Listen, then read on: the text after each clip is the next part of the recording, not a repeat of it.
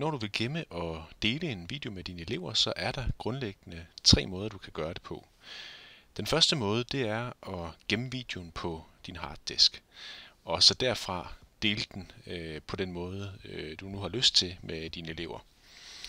Den anden måde, det er at uploade videoen til Screencast-O-Matic. Øh, det gør du ved at trykke her. Og øh, der vil jeg anbefale dig først at lave en øh, kanal, som jeg vil vise dig lige om lidt, hvordan du gør.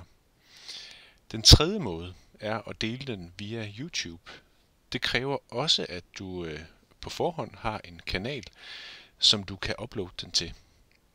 Første gang du gør det, så beder den dig først om at oprette forbindelse til din YouTube-kanal, og der øh, skal du bare følge de instruktioner, der kommer på skærmen, så bliver programmet i stand til at dele videoer med YouTube. Du har de her valgmuligheder, når du vælger YouTube Upload. Øh, for det første, give din øh, video en øh, sigende titel. Du kan også øh, vælge de her typiske muligheder, du har øh, hos YouTube med at beskrive videoen.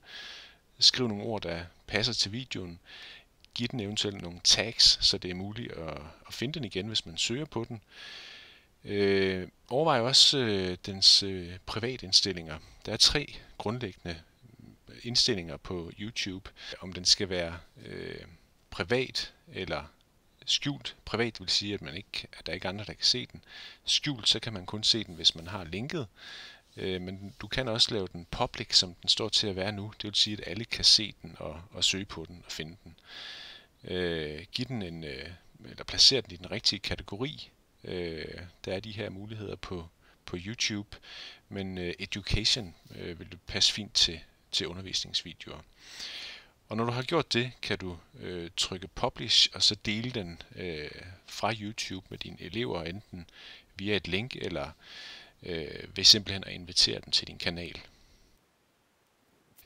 Men hvis du vælger øh, muligheden med at uploade til screencast o så vil jeg øh, foreslå dig at lave en kanal. Det gør du herovre i venstre side. Øh, jeg har allerede oprettet en kanal her, som du kan se, dansk i klassen, 15-18, øh, hvor øh, jeg kan samle de videoer, jeg laver til min dansk klasse for eksempel. Øh, men jeg kan jo lave en ny øh, kanal ret hurtigt, og giver den en øh, titel. Og det bliver test, videoer til test. Du har mulighed for at sætte et, et password på.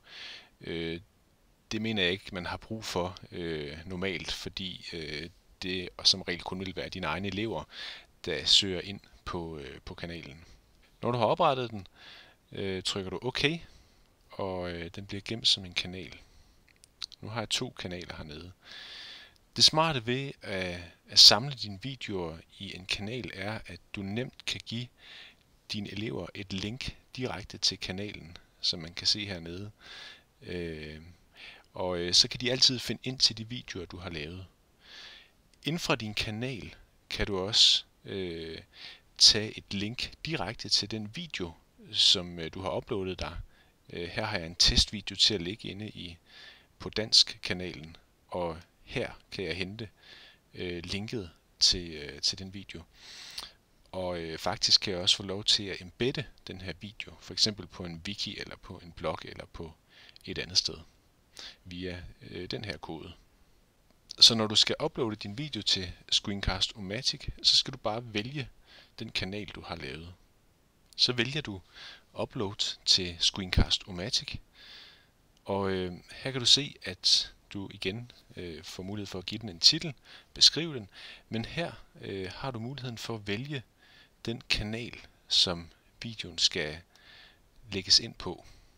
Og her kommer øh, de, valg, de kanaler frem, som du har øh, lavet tidligere, hvor du så kan lægge videoen ind under. På den måde er det nemt for dine elever at finde frem til, til de rigtige videoer, og måske se flere andre, øh, som har været brugt tidligere.